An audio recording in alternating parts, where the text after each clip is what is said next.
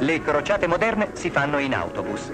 Billy Graham, che è il goffredo di buglione dei nostri tempi, torna a Los Angeles, da dove era partito 14 anni or sono per combattere la sua battaglia in 50 paesi dei 5 continenti. 38.000 persone giungono da ogni parte degli Stati Uniti per ascoltare al Memorial Coliseum il discorso del dinamico pastore evangelista.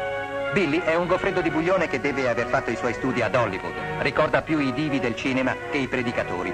Tuttavia in 14 anni è riuscito a convertire un milione di infedeli alla Chiesa evangelista. Dopo la prima crociata ha deciso di intraprenderne una seconda. Vuole salvare il nuovo mondo dalla crisi spirituale che lo minaccia.